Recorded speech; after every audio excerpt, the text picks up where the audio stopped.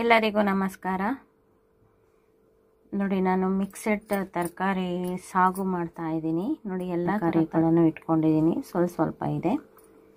ಒಂದು ಈರುಳ್ಳಿ ಒಂದು ನಾಲ್ಕು ಟೊಮೊಟೊ ಇದರೊಳಗೆ ಒಂದೆರಡು ಟೊಮೊಟೊ ಇದೆ. ಇದೊಂದು ಸ್ವಲ್ಪ ಕಾಯಿ ಇದೆ ಅದಕ್ಕೆ ಇಟ್ಕೊಂಡಿದ್ದೀನಿ. ಒಂದು ಮೂರು ಬದನೆಕಾಯಿ ಒಂದು ನಾಲ್ಕು ಬೀನ್ಸು ಒಂದೆರಡು ಮೂರು ಕ್ಯಾರೆಟು ಒಂದೆರಡು ಬೀಟ್ರೋಟು ಒಂದು ದೊಡ್ಡದೊಂದು ಸೀಮೆ ಬದನೆಕಾಯಿ.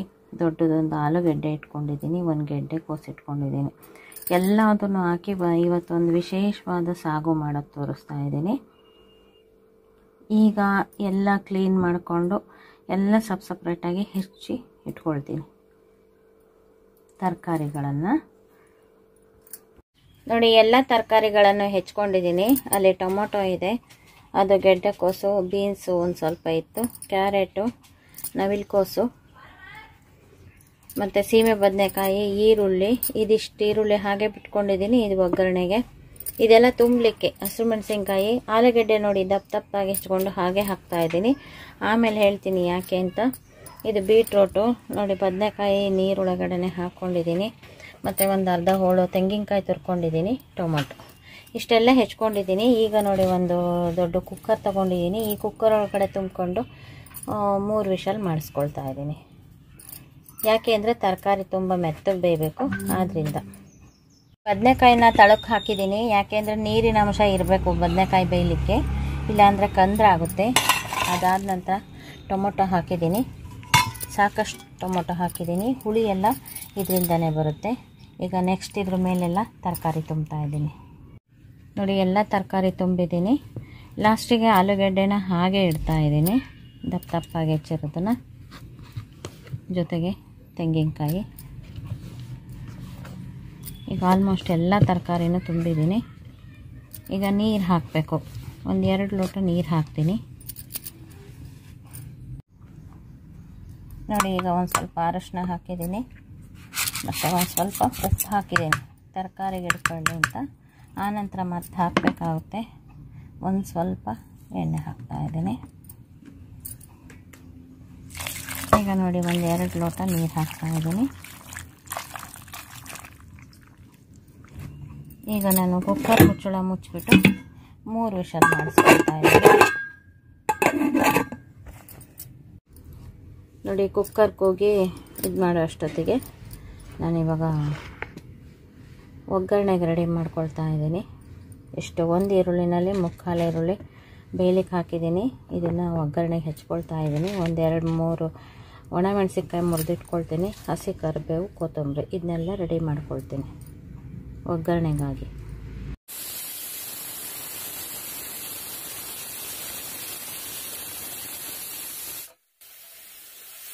ನೋಡಿ, ಈಗ ಮೂರು ವಿಷಲ್ ಆಗಿದೆ. ಈಗ ಕುಕ್ಕರ್ ಆಫ್ ಮಾಡ್ತಾ ಇದ್ದೀನಿ. ಇದು ಒಂದು ಸ್ವಲ್ಪ ಪ್ರೆಷರ್ ಇಳಿ ಆನಂತರ ಮಾಡೋಣ. ನೋಡಿ ಪ್ರೆಷರ್ ಆರಿದೆ. ಈಗ ತೆಕ್ಕೊಳ್ತಾ ಇದ್ದೀನಿ.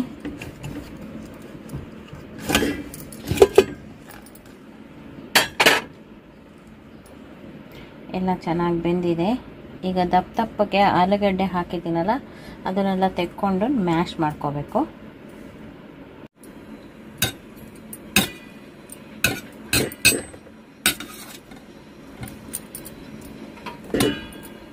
ಒಂದೇ ಒಂದು ದೊಡ್ಡ ಆಲೂಗಡ್ಡೆನ ನಾಲ್ಕು ಪೀಸ್ ಮಾಡಿ ಹಾಕ್ಕೊಂಡಿದ್ದೆ ಅದನ್ನು ತೆಕ್ಕೊಳ್ತಾ ಇದ್ದೀನಿ.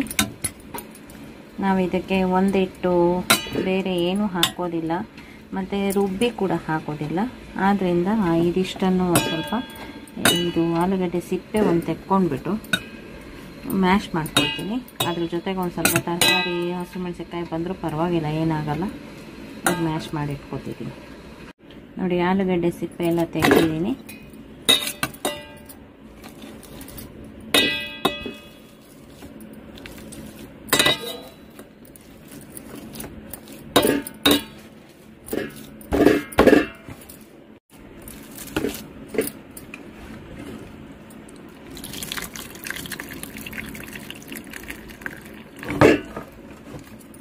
ನೋಡಿ, ಇದ್ರದ್ದು ರಸ ಎಲ್ಲ ಹಾಕ್ಕೊಂಡು ಇದು ಒಂದು ಸ್ವಲ್ಪ ಹೊಂದ್ಕೊಳ್ಳೋ ಹಂಗೆ ಇದು ಮಾಡ್ತಾ ಇದ್ದೀನಿ. ಆಲೂಗಡ್ಡೆ ಇದ್ರೊಳಗೆಲ್ಲ ಹೊಂದ್ಕೋಬೇಕು. ಆವಾಗ ಚೆನ್ನಾಗಾಗುತ್ತೆ ಪಲ್ಯ. ಆಲೂಗಡ್ಡೆ ಫುಲ್ ಮ್ಯಾಶ್ ಮಾಡಿದ್ದೀನಿ. ಇದೇ ರಸ ಹಾಕ್ಕೊಂಡು ನೀರೇ ಎಕ್ಸ್ಟ್ರಾ ಹಾಕೋದ್ರ ಬದಲು ಇದೇ ರಸ ಹಾಕ್ಕೊಂಡು ಇದು ಮಾಡ್ಕೊಳ್ತಾ ಇದ್ದೀನಿ. ಇವಾಗ ಹೊಂದ್ಕೊಳ್ಳುತ್ತೆ ನೋಡಿ. ಚೆನ್ನಾಗಿ ಹೊಂದ್ಕೊಂಡು ಈಗ ಮತ್ತೆ ಇದನ್ನು ಇದ್ರೊಳಗಡೆ ಈಗ ನೋಡಿ, ನೀರು ನೀರು ನೀರು, ತರಕಾರಿ ತರಕಾರಿ ಇತ್ತಲ್ಲ, ಅದ್ರ ಬದಲು ಈಗ ಹೊಂದ್ಕೊಂಡಂಗಾಗಿದೆ. ಆಲೂಗಡ್ಡೆನ ಈ ರೀತಿ ಮ್ಯಾಶ್ ಮಾಡಿ ಹಾಕಿದ್ರೆ ತುಂಬ ಚೆನ್ನಾಗಾಗುತ್ತೆ. ಈಗ ಒಗ್ಗರಣೆ ಹಾಕೋಣ. ನೋಡಿ, ಒಗ್ಗರಣೆಗೆ ನಾನು ಒಂದು ಮಣ್ಣಿನ ಪಾತ್ರೆ ಇಟ್ಟು ಎರಡು ಸ್ಪೂನ್ ಎಣ್ಣೆ ಹಾಕಿದ್ದೀನಿ. ಎಲ್ಲ ಕಡೆಗೂ ಸ್ಪ್ರೆಡ್ ಮಾಡ್ತಾ ಇದ್ದೀನಿ. ಮಣ್ಣಿನ ಪಾತ್ರೆ ಆಗಿರೋದ್ರಿಂದ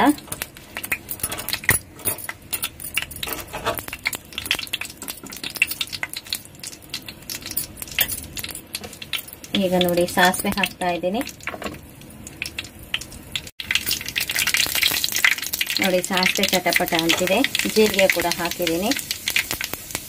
ಬೇಕು ಅಂದರೆ ಕಡಲೆಬೇಳೆ, ಉದ್ದಿನಬೇಳೆ ಎಲ್ಲ ಒಗ್ಗರಣೆಗೆ ಹಾಕೋಬೋದು. ನಾನೇನು ಕಡಲೆಬೇಳೆ, ಉದ್ದಿನಬೇಳೆ ಹಾಕ್ತಾ ಇಲ್ಲ.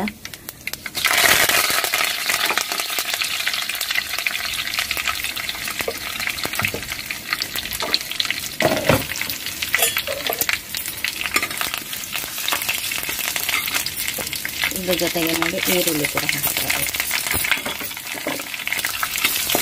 ಸಣ್ಣದಾಗಿ ಇಟ್ಕೊಂಡಿದ್ದೀನಿ ಈರುಳ್ಳಿ. ಬೇಗ ಮಾಗುತ್ತೆ. ಇದೆಲ್ಲ ಮಾಗಾದ್ಮೇಲೆ ಕುಕ್ಕರಲ್ಲಿ ಇರೋದನ್ನು ಹಾಕೋಣ. ಬೇಯಿಸ್ಕೊಂಡಿರೋದು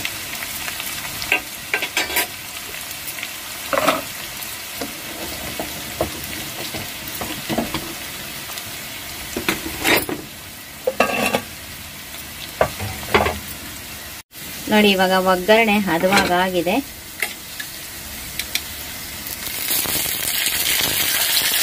ತರಕಾರಿ ಇದೀಗ ಬೇಯಿಸ್ಕೊಂಡಿದ್ವಲ್ಲ ಅದನ್ನ ಕೂಡ ಹಾಕ್ತಾ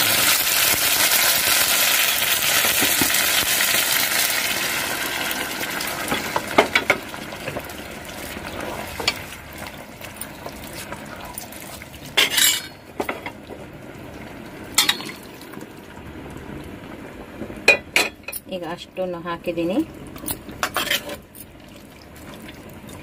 ಇದು ಪಲ್ಯ ಹೊಂದ್ಕೊಂಡು ಆಲೂಗಡ್ಡೆನ ಮ್ಯಾಶ್ ಮಾಡಿರೋದ್ರಿಂದ ಹೊಂದ್ಕೊಂಡು ಚೆನ್ನಾಗಿ ಕುದಿಯುತ್ತೆ ನೋಡಿ, ಇವತ್ತು ತುಂಬ ಆಯಿತು.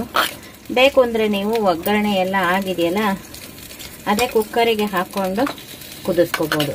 ಇದರಲ್ಲಿ ಜಾಸ್ತಿ ಆಗುತ್ತೆ ಅನ್ನೋದಾದರೆ.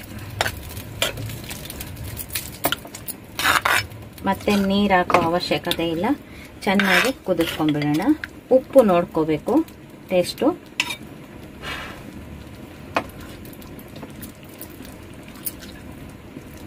ಉಪ್ಪು, ಖಾರ ಎಲ್ಲ ಕರೆಕ್ಟಾಗಿದೆ ಇದು ಕುದಿಲಿ. ನೋಡಿ, ಎಲ್ಲ ಕಡೆ ಚೆನ್ನಾಗಿ ಕುದೀತಾ ಇದೆ. ತರಕಾರಿ ಇನ್ನೇನು ಬೆಂದಿದೆ, ಮತ್ತೇನು ಬೇಯೋ ಅವಶ್ಯಕತೆ ಇಲ್ಲ. ಈಗ ನಾನು ಯಾವ ಪುಡಿಗಳನ್ನು ಹಾಕಿಲ್ಲ ಇದುವರೆಗೂ, ಅದಕ್ಕೋಸ್ಕರ ನೋಡಿ ಒಣಮೆಣಸಿನ್ಕಾಯಿ ಹಾಕದೆ ಹೋಗಿರೋ ಅಂಥದ್ದು ಅರ್ಧ ಸ್ಪೂನ್ ಅಷ್ಟೇ ಹಾಕಿದ್ದೀನಿ. ಯಾವುದು? ಸಾರಿನ ಪುಡಿನ. ಬೇರೆ ಪುಡಿ ಏನು ಹಾಕಿಲ್ಲ. ಸಾಕು, ಇಷ್ಟೇ ಸಾಕು. ಅದರಲ್ಲಿ ತುಂಬ ಹಾಕಬಾರ್ದು. ಸಾರಿಗೆ ಹಾಕ್ತಿರಲ್ಲ, ಅಷ್ಟು ಹಾಕಬಾರ್ದು. ಲಾಸ್ಟಿಗೆ ಕೊತ್ತಂಬರಿ ಸೊಪ್ಪು. ಇದಿಷ್ಟನ್ನು ಹಾಕ್ಕೊಂಡು ಚೆನ್ನಾಗಿ ಕುದಿಸ್ಕೊಂಡ್ಬಿಟ್ರೆ, ಪಲ್ಯ ಏನು ಟೇಸ್ಟ್ ಆಗಿರುತ್ತೆ ಗೊತ್ತಾ? ಸಖತ್ತಾಗಿರುತ್ತೆ. ಇಷ್ಟೊಂದು ಪಲ್ಯ ಮಾಡಿದ್ರೂ ಕೂಡ ಖಂಡಿತ ಇದು ಉಳಿಯೋದೇ ಇಲ್ಲ. ಅಷ್ಟು ಖಾಲಿ ಆಗಿಬಿಡುತ್ತೆ. ಅಷ್ಟು ಚೆನ್ನಾಗಿರುತ್ತೆ. ನೀವು ಇವನು ಬಿಸಿ ಬಿಸಿ ಅನ್ನಕ್ಕೂ ತಿನ್ಬೋದು, ಚಪಾತಿ, ರೊಟ್ಟಿ ಯಾವುದಕ್ಕೆ ಬೇಕಾದರೂ ತಿನ್ಬೋದು. ನೋಡಿ ನೆಂಚ್ಕೊಂಡ್ಬಿಟ್ಟು ಹೋಳುಗಳನ್ನು ಮುದ್ದೆ ಕೂಡ ತಿನ್ಬೋದು. ಅಷ್ಟು ಚೆನ್ನಾಗಿದೆ ಪಲ್ಯ. ನೋಡಿ, ಎಲ್ಲ ತರಕಾರಿಗಳನ್ನು ಹಾಕಿ ಸೊಗಸಾದಂಥ ಗುಣ ತೋರಿಸ್ತಾ ಇದ್ದೀನಿ. ಸಖತ್ತಾಗಿ ಬಂದಿದೆ. ಇದನ್ನ ನೀವು ಪಲ್ಯ ಅಂತನಾರು ಅನ್ಬೋದು, ಸಾಗು ಅಂತನಾರು ಅನ್ಬೋದು. ಹಿಂಗೆ ರಸರಸವಾಗಿದೆ ನೋಡಿ, ಎಷ್ಟು ಚೆನ್ನಾಗಿದೆ ಗೊತ್ತಾ? ನಾವು ಬೇರೆ ಪುಡಿಗಳನ್ನು ಹಾಕಿಲ್ಲ, ಹೊಂದ್ಕೊಳ್ಳೋದಕ್ಕೆ. ಆಲೂಗಡ್ಡೆನೇ ಮ್ಯಾಶ್ ಮಾಡಿ ಹಾಕಿದೀವಿ. ಸಖತ್ತಾಗಿದೆ. ನೋಡಿ, ಇದರ ಅನುಕೂಲ ಕೂಡ ಪಡ್ಕೊಳ್ತೀರಾ ಅಂತ ನಾನು ಈ ವಿಡಿಯೋ ಮಾಡಿ ತೋರಿಸಿದ್ದೀನಿ ಈ ವಿಡಿಯೋ ನಿಮಗೂ ಇಷ್ಟ ಆಗಿದ್ದರೆ ಲೈಕ್ ಮಾಡಿ, ಶೇರ್ ಮಾಡಿ, ಮತ್ತು ನಮ್ಮ ಚಾನಲ್ಗೆ ಇದುವರೆಗೂ ಸಬ್ಸ್ಕ್ರೈಬ್ ಆಗಿಲ್ಲ ಅಂದರೆ ಈ ಕ್ಷಣದಿಂದ ಸಬ್ಸ್ಕ್ರೈಬ್ ಆದರೆ ನಿಮ್ಮ ದಿನನಿತ್ಯದ ಅನುಕೂಲಕ್ಕೆ ಬರುವಂತಹ ವಿಡಿಯೋಗಳನ್ನೇ ನಾನು ಮಾಡ್ತಾ ಇರ್ತೀನಿ. ನೋಡಿ, ಚೆನ್ನಾಗಿ ಕುದೀತಾ ಇದೆ. ನಾನು ಉಕ್ಕಿಸ್ಕೊಂಡಿಲ್ಲ. ಸಖತ್ತಾಗಿದೆ. ಟೇಸ್ಟ್ ಅಂತೂ ಸೂಪರ್ ಆಗಿದೆ. ಪದೇ ಪದೇ ಹೇಳ್ತಿದ್ದೀನಿ ಅಂತ ಬೇಜಾರು ಮಾಡ್ಕೋಬೇಡಿ. ಅಷ್ಟೇ ಸೂಪರ್ ಆಗಿದೆ. ನೀವು ಮಾಡ್ಕೊಂತೀನಿ. ಸಖತ್ತಾಗಿದೆ. ನೋಡಿ, ಇವಾಗ ಬಿಸಿ ಅನ್ನ ಮಾಡ್ಬಿಟ್ಟಿದೀನಿ ಯಾಕೆಂದ್ರೆ ಚಪಾತಿ ರೊಟ್ಟಿ ಮಾಡೋ ಅಷ್ಟೊತ್ತಿಗೆ ಲೇಟ್ ಆಗ್ಬಿಡುತ್ತೆ. ಇದ್ರದ್ದೇ ತುಂಬಾ ಪ್ರೊಸೆಸ್ ಇರುತ್ತಲ್ಲ, ಹೆಚ್ಕೊಳ್ಳೋದು ಎಲ್ಲ. ಅದಕ್ಕೆ ಬಿಸಿ ಅನ್ನಕ್ಕೆ ಈ ಸಾಕು ಹಾಕೊಂಡು ಇವತ್ತು ತಿಂತಾ ಇದ್ದೀನಿ. ಸಖತ್ತಾಗಿರುತ್ತೆ ಬಿಸಿ ಅನ್ನ ಕೂಡ. ಆ ನಂತರ ಟೈಮ್ ಮಾಡಿಕೊಂಡು ಚಪಾತಿ, ರೊಟ್ಟಿ ಮಾಡ್ತೀನಿ. ಇನ್ನು ನೋಡಿ, ತುಂಬಾ ಪಲ್ಯ ಇದೆ. ಈಗ ಅನ್ನಕ್ಕೆ ಸಾಗು ಹಾಕೊಂಡು ತಿಂತಾ ಇದ್ದೀನಿ. ಸಖತ್ತಾಗಿರುತ್ತೆ. Thank you for watching